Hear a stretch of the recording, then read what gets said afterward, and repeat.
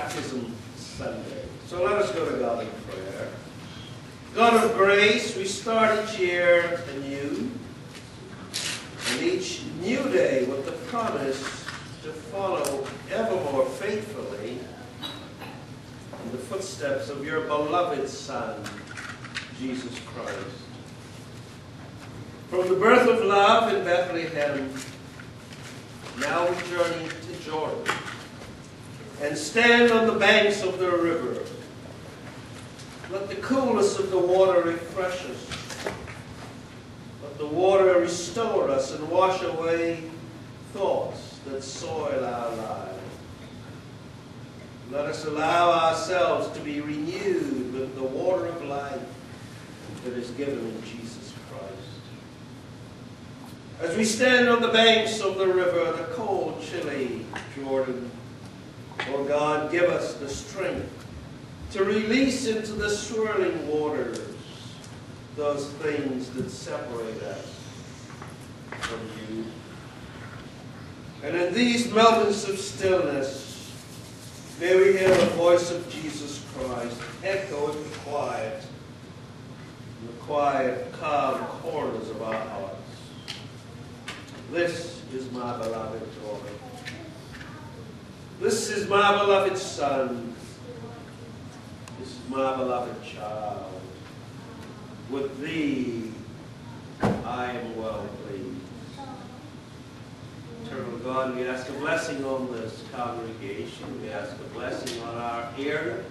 It's a blessing on our church. We ask, Father, that you send lots and lots of moisture to refresh the soil and baptize us with fresh water from above. Lord, we ask your mercy and your grace on each and every school that's represented here today, all the teachers, administrators, and students. We ask that you would bless each and every caregiver in every situation. Wherever they may be, be with them, strengthen them. Bless those who are sick, those who are shut in. Let each and every one of us know that Jesus Christ came, he was baptized, he died just for each every one uh, of oh, us. Lord, please bless those on our sick list, our prayer list. Bless those who serve us across the country, all the soldiers, sailors, all those in the military. Lord, we pray that our administrators would bring them back and bring them back expeditiously, quickly. Bring them safely home to their families. Bless each and every person who defends us, uh, our nation across the world. Be with them now. Keep them warm. Keep us warm, Lord. Bless our all administration, our president, all the cabinet, all those who are being appointed, and the right appointments being made, all those who govern our, our uh, state, govern our cities, counties, be with each and every person who governs all around the world that the Lord Jesus Christ died just for us. Lord, we ask all these blessings as you bless us and send us from this place to do your will. As we ask in Jesus' name, who taught us how to say, Our Father, who art in heaven, hallowed be thy name. Thy kingdom come, thy will be done, on earth as it is in heaven. Give us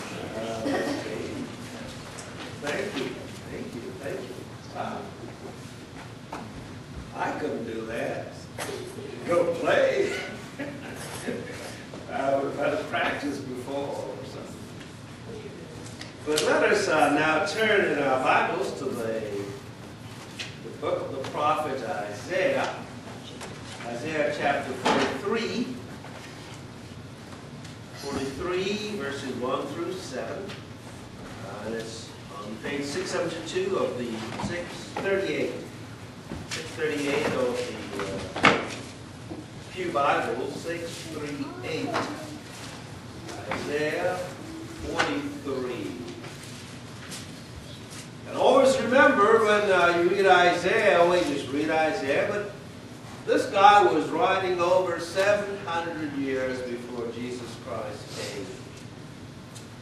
So he must have been inspired by the Holy Spirit. No one can predict anything as accurately as this 700 years down the road. So let us go to prophet Isaiah, listen to the word of God. But now, thus says the Lord, he he who formed you, O Israel, fear not, for I have redeemed you. I have called you by name. You are mine. When you pass through the waters, I will be with you. And through the rivers, they shall not overwhelm you. When you walk through fire, you shall not be burned, and the flame shall not consume you. For I am the Lord your God, the Holy One of Israel, your Savior. I give Egypt as your ransom, Ethiopia and Seba in exchange for you. Because you are precious in my eyes and honored, and I love you. I give men in return for you, peoples in exchange for your life. Fear not, for I am with you. I will bring your offspring from the east and from the west. I will gather you. I will say to the north, Give up, and to the south, Do not withhold. Bring my sons and daughters from afar, and my daughters from the end of the earth. Everyone who is called by my name, whom I created for my glory, whom I formed and made. Uh, please turn with me to the New Testament, the book of Luke, Luke chapter 3, verses 15 through 18. And it'll be found on page 60 of the Pew Bibles, the back in the New Testament section. Luke chapter 3, verses 50. Listen to the Word of God. Luke 3, 15. As the people were in expectation, all people questioned in their hearts concerning John, whether perhaps he were the Christ. John answered them all, I baptize you in water. But he who is mightier than I is coming, the thong of whose sandals I am not worthy to untie. He will baptize you with the Holy Spirit and with fire. His winnowing fork is in his hand to clear his threshing floor and to gather the wheat into the granary, but the chaff will burn with unquenchable fire. So with many other exhortations, John preached good news to the people. Now please turn to uh, 21, the baptism of Jesus. Gone down. We're going to skip 19, 20. Now when all the people were baptized, and when Jesus also had been baptized and was praying, the heaven was opened. And the Holy Spirit descended upon him in bodily form as a dove. And a voice came from heaven. Thou art my beloved Son. With thee I am well pleased. This is the word of God. Thanks be to God. May the words of my lips and the meditations of our hearts be acceptable in thy sight, O Lord, our strength and our Redeemer. Uh, from that passage, uh, I want to draw your attention to let us follow the beloved. Let us follow the beloved Son. Let us follow the beloved Jesus Christ. Let us be good Christians and do as Jesus did. You know the question. What would Jesus do in this particular situation? Well, in baptism, we're named and claimed as beloved sons and daughters of God. We bring our child to be baptized. The pastor takes the child from the parent, godparent, and the pastor says, Name this child. Uh, next. Let's have some baptisms around here, please. Uh, well, the pastor says, name this child. And when we name that child, the child is filled with the Holy Spirit, and our lives are never the same again. When we look at the baptism of a baby, we are reminded of our own baptism. In our scriptures today that... Uh, we hear God saying to Jesus Christ, This is my beloved Son. And for all of God's beloved sons and daughters, the scriptures just tell us that as Christians we are loved by Almighty God. In baptism, God has called us, each of us, by name. And the pastor just uh, substitutes for God and says, Name this child. Now, we're not God, we're, we're imperfect. But we're here and we stand in the place of God, and you can see us. God is with us and in us. And we said, Name this child. And God has given to each and every one of us a name. God has given us honor, and God has given us glory. With such radical love washing over us and through us, we are transformed. We become Christians. We are strengthened to go out after our baptism to transform the world. Now, God had not spoken to the people of Israel for over 400 years. You know, when we read the Bible and we pick up the Bible, it's just a little book, just a few pages. Do you know how many thousands of years involved in the Bible?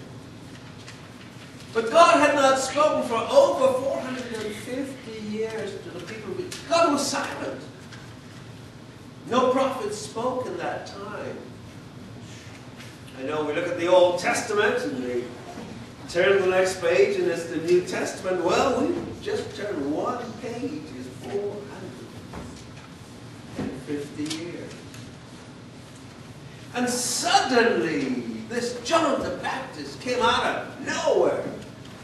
And John the Baptist was preaching as the prophets of old. And he gave us a message. A message that's good for all time.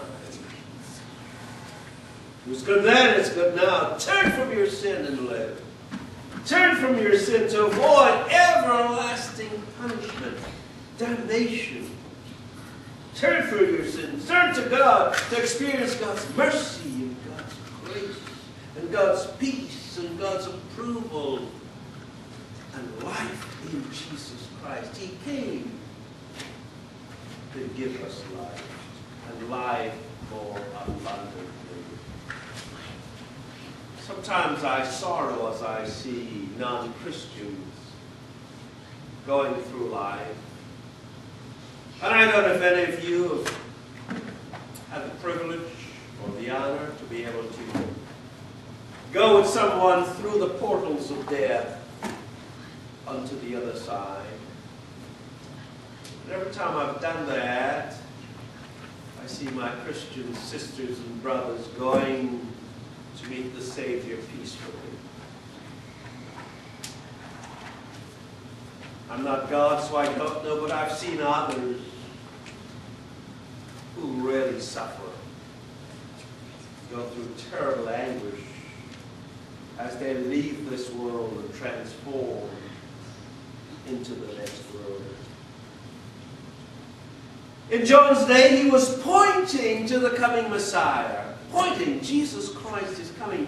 John, uh, not John the Baptist, John the Apostle said, John came, he was not the light, but he came to shine the light. He came to show us the light that was coming. And God was coming into the world, and God came into the world at that time, flesh and blood. We call it the incarnation. God came so that we could understand God. And when we see Jesus Christ, we see all of God. Well, John's introduction to Jesus Christ was through what we call believer's baptism. We call it cradle baptism. Remember we say, we stand up and we say the apostles' credo, apostles' creed.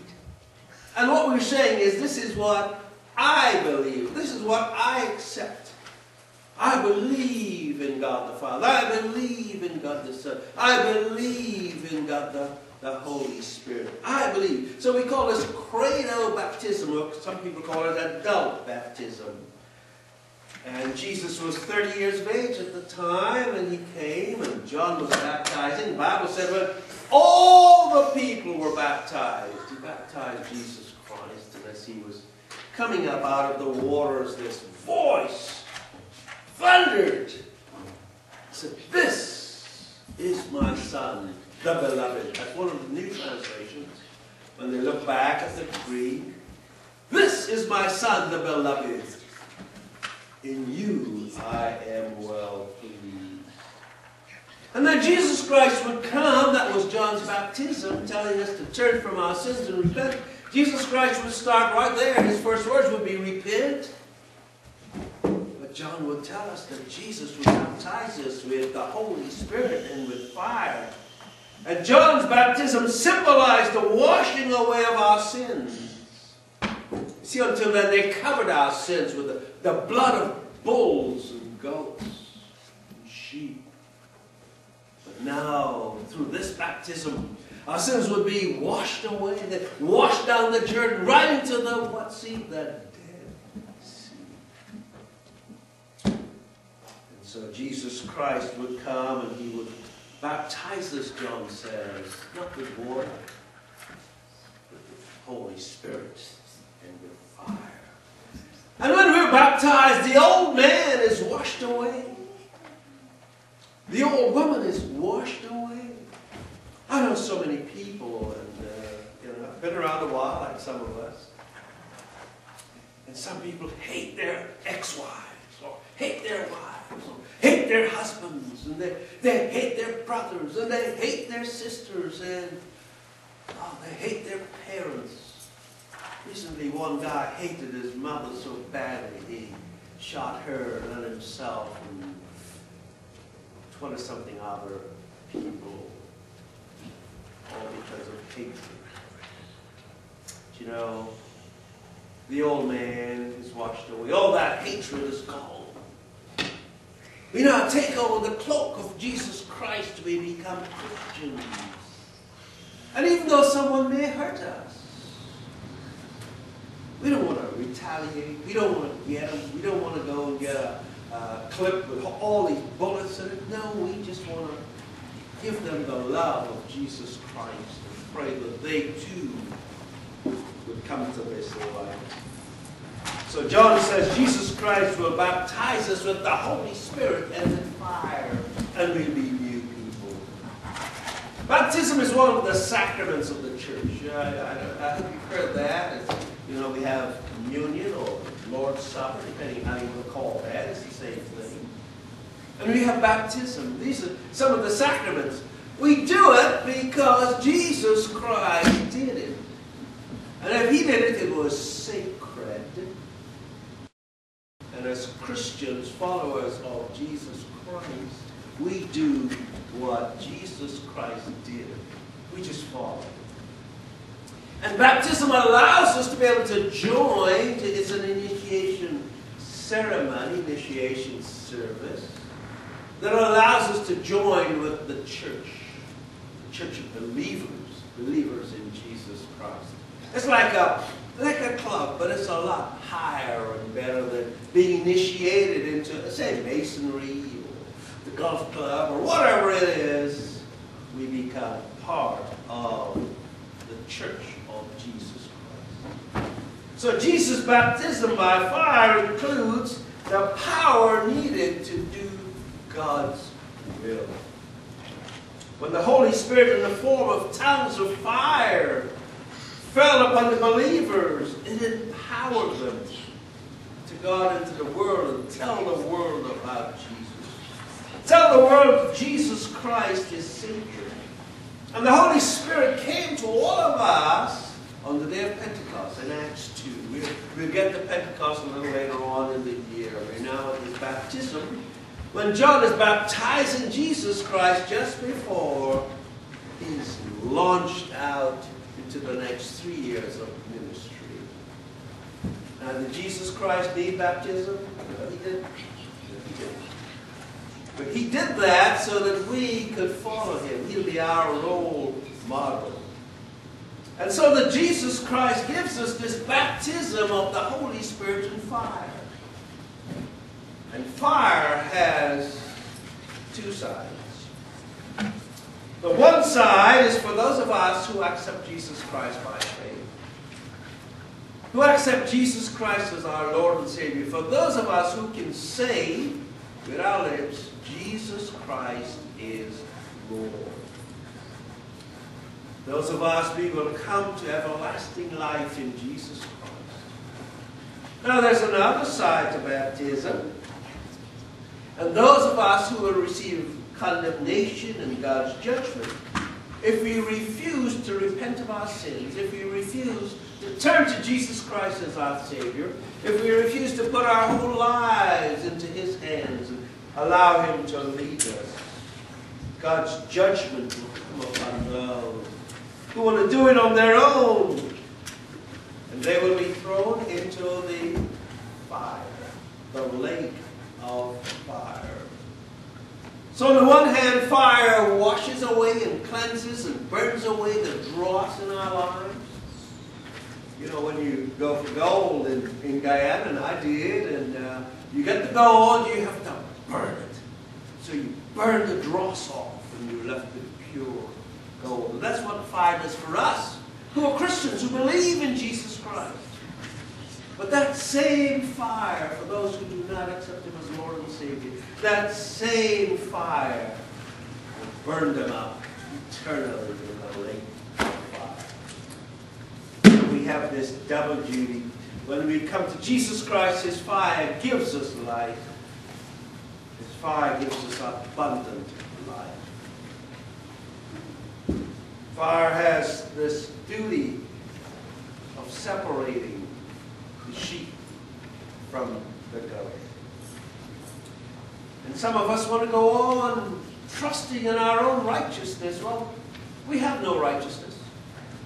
None of us have any righteousness. In fact, Romans 3.10 says, There is no one who is righteous. No, not one.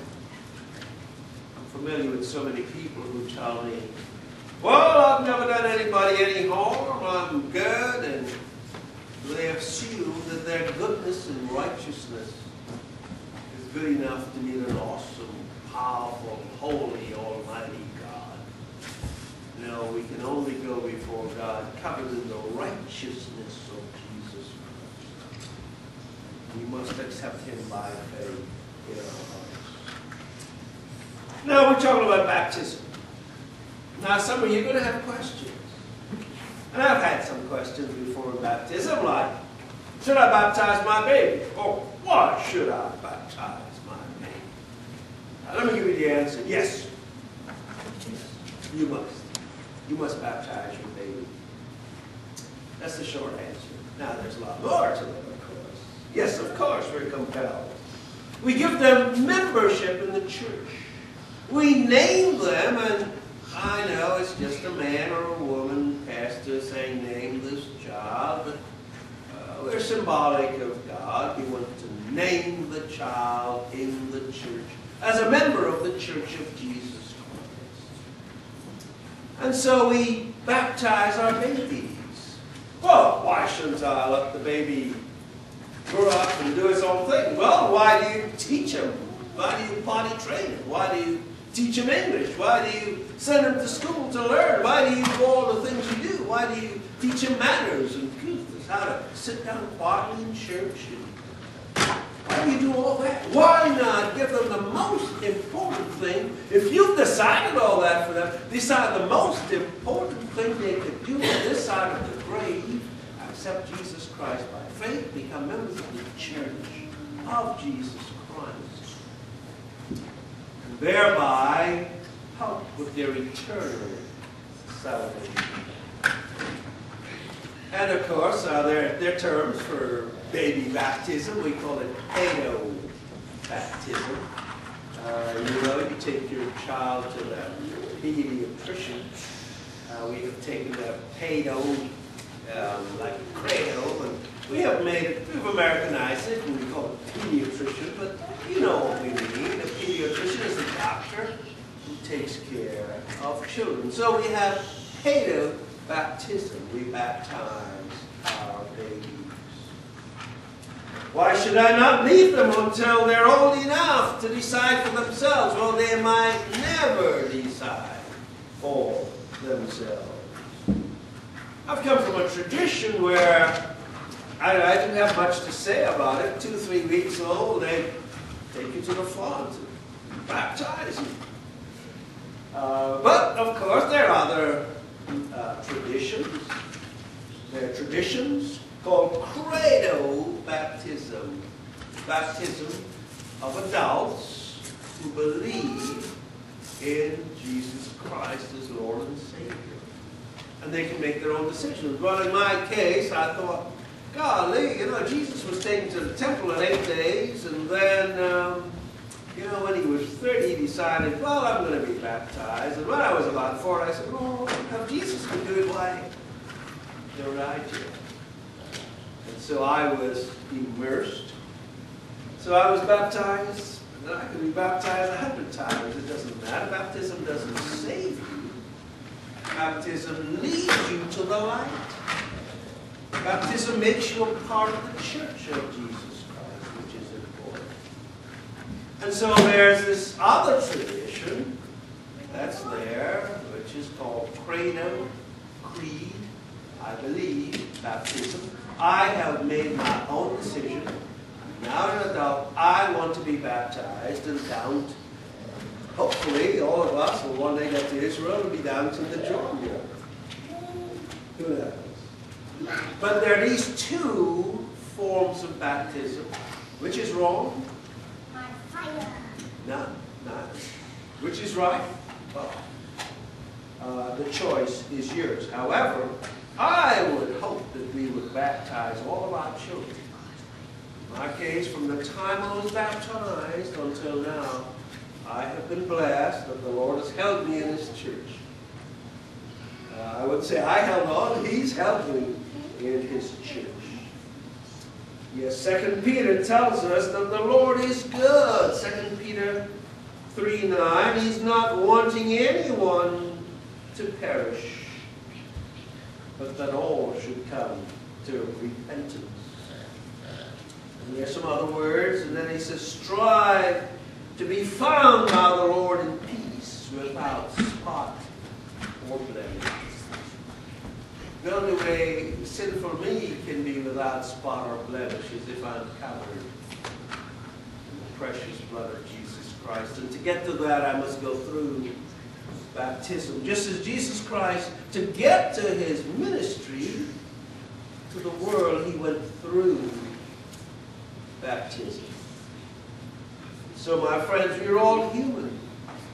And you know what? We'll all sin. We'll all fall short of the glory of God. We're all worthy of condemnation, being thrown in the lake of fire.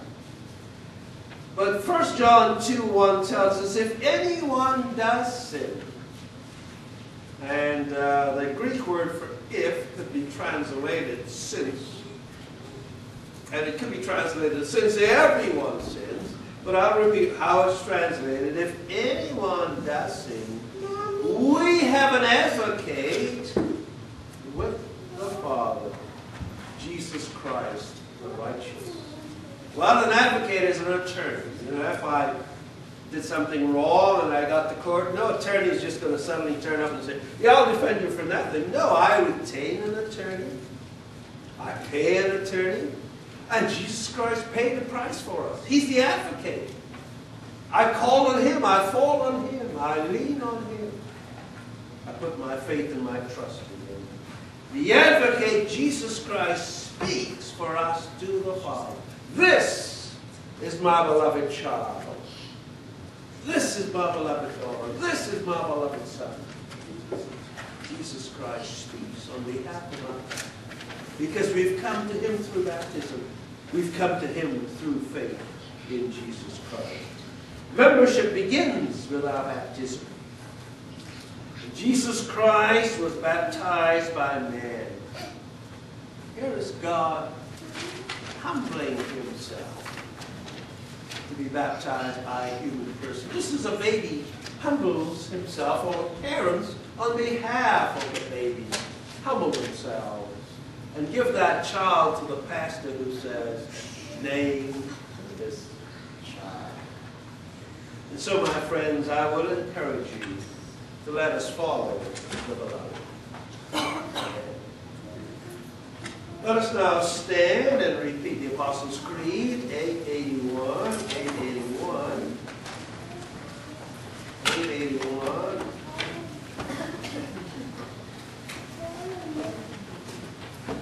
881. Together, I believe in God the Father Almighty, maker of heaven and earth, and in Jesus Christ, his only Son, our Lord, who was conceived by the Holy born of the Virgin Mary, suffered under Pontius Pilate, was crucified, dead, and buried. The third day he rose from the dead. He ascended into heaven, and sitteth at the right hand of God the Father Almighty. From thence he shall come to judge the quick and the dead. I believe in the Holy Spirit, the Holy Catholic